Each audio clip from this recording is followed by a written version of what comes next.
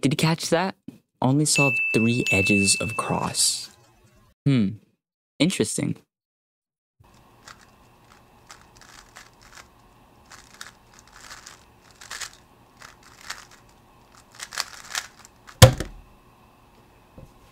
That was pretty cool. It was indeed. You see, the method I used there is cross minus one. It is very similar to, if not the same as Hawaiian Kociemba. And you know, there's not a ton of information about Hawaiian Kociemba out there. So let's just call cross minus one a simpler version or a variant of Hawaiian Kociemba.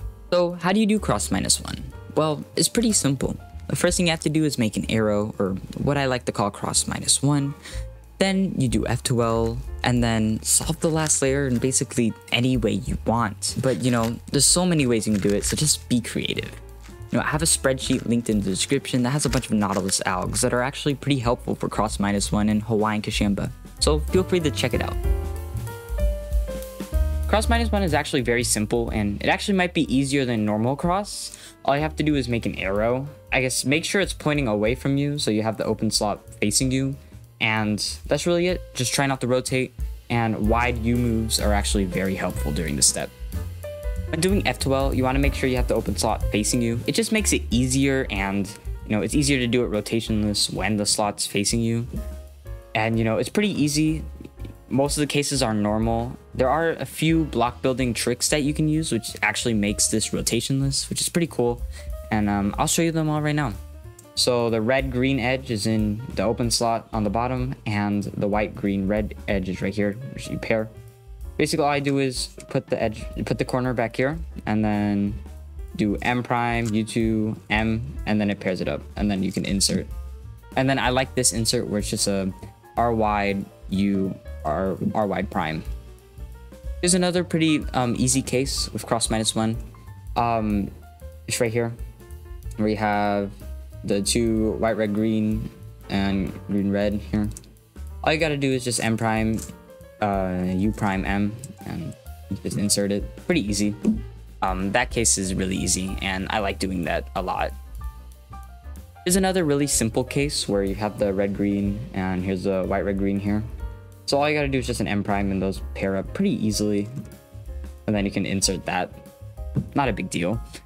Now here's this pair where they're flipped. Um, this pair is pretty simple to do normally, where you just do this um, R, you do R prime.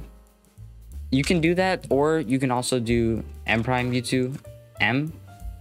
You know, both ways are pretty good. I do prefer the just the normal way to solve it, but sometimes you will have to use the U version to kind of make it easier to not rotate. And then here to insert this, um, I would just do a M prime to connect these, and then a U, or actually a U2, and then just kind of insert like that. You know, nothing too difficult. Like I said earlier, there are many ways that you can do last layer of cross minus one. So here are a few ways that I recommend trying. You can do CMLL, then orientate the rest of the edges and do an H, U, or Z perm to finish up the solve. Or if you don't want to learn a bunch of CMLL algs, you can learn the first look of two look CMLL. What I mean by that is that you can learn the algorithms that orientate the corners. Then you can orientate the rest of the edges and then do a PLL. You can even insert the last cross edge and do OLL and PLL like normal. Or if you're insane, you can learn HKOLL or HKPLL and solve it that way. and you know, you can also learn L5E, which, you know, has an insane 245 algs. I was way too optimistic with that alg set. I'm sorry. so here's a few walkthrough solves. Okay, so here I'm gonna do white cross and I see that we have the white orange here. So I'm just gonna kind of make the cross pretty simply. Just kind of do that. sorry. and then um then here's the white blue here. So I'm just gonna connect it there. And then I got the white green here. And then I got this. Now I can go for X cross here, but yeah, I'll do that. Just a back move. And boom. Um, here, I'm going to go do this pair. So just that. And then I'm going to do an M prime to pair them up. And then insert them. And I have this white blue here. White blue red. It's another white blue red I mean blue red. So I'll just kind of take this out and then I can insert them. I pair them up, insert them, and then simple three move there. Now, I would have to take the white red out. I'm sure there's a way that I could have not done that, but, you know, I'm not very good at this yet, so just hang on with me. So then inserting this, I would actually put the yellow piece back here because I know I can make a cross with that case. And then, you know, OLL, PLL, and yeah, that's that.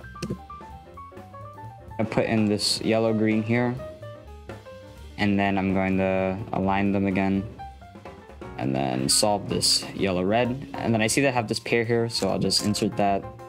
Then I have an easy pair right here, so I can just F2 with that one.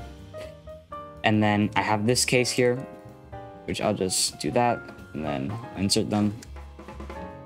And then I have this case, or well, this pair. What I can do here is I can actually go this. So kind of just move this piece back here and then I did that. I can insert that. I inserted the cross edge at the same time, an OLL and PLL. Right, this is another pretty simple cross. So, I mean, arrow or semi-cross or um, cross minus one. so, you know, just down two and then I have back move. That's a B or a B prime. I have no idea. And then I just kind of take the cross. Then here I have I see I have this pair right here, so I'll pair them up and then I'll insert them. I have another pair right here. That's kind of the simplest. So I can go like um, this right here. Then I can insert them and then I see I have something else right here, so I'll just kind of take this out like that. And then the easiest way to make this pair would be to put this in the back, M prime, U2, M. And then I can insert that. And I have this pair here, so I'll move this to the front.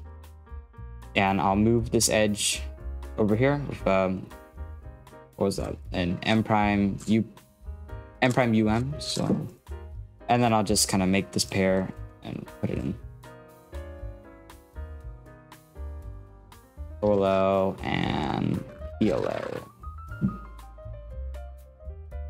this one's pretty easy. So I'm, I'm gonna do yellow cross and I'm gonna this piece up, put it in, down two, and then put this piece in. There, I will do. Uh, have this yellow, red, green, and this green, red here. So I'll kind of pull this out like that. And I'll do a U2. I'll, I'll connect these and then I'll insert them. And then I have this pair here that I can make like that and then insert them with a wide move insert. And I have these two pieces right here. So then I'll just kind of connect them like this and then do an RU2 that, and then I'll insert them and bring down the M slice at the same time. And then I have this back here, which in this case isn't the best, but wide move. I'll just use wide moves for this. And I got unlucky, I had this down there. I This can be avoided. I just, I haven't actually like practiced that yet, so forgive me. So I take that out and then I, I see I have this, this kind of setup again then I can do that, make a cross.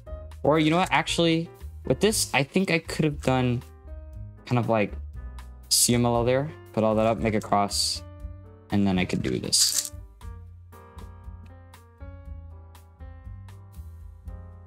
Ignore the plus two. um, yeah, those are the walkthrough solves. Yay. Plus minus one is really cool, and I've had a ton of fun using it and learning it. You know, it's been a fun time. If you want to learn more about it, watch this video. Um, besides that, love you, bye. And thanks for a thousand.